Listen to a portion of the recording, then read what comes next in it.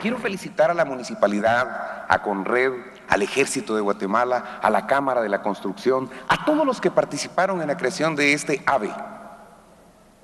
Y a la gente como ustedes que construye, porque sobre ustedes se basa esa pirámide de administración que hoy se planteó, para poder prevenir todos esos desastres.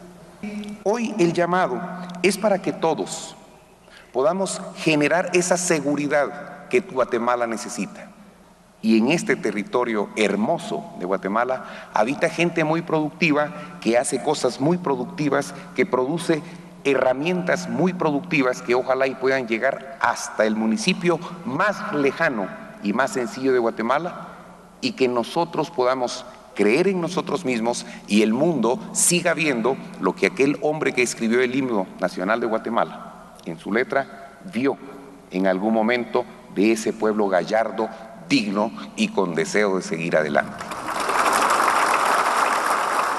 Se han esforzado mucho en toda esa preparación tecnológica, pero nada de eso es posible llevar a cabo sin el liderazgo humano. Esa es la realidad. El factor humano que supera toda la tecnología. Claro, se necesita de esa, se necesita de una directriz. Cuando ya hay una base de reglamentación, es fundamental para que no nos estemos dando tropezones entre nosotros y optimizar los recursos y los esfuerzos que todos realizan. Es clave, es clave el esfuerzo humano, el esfuerzo humano por una nación. Y eso no permite bajar el pabellón nacional para subir uno de colores. Uh-uh. Eso no vale. Por ahí empieza.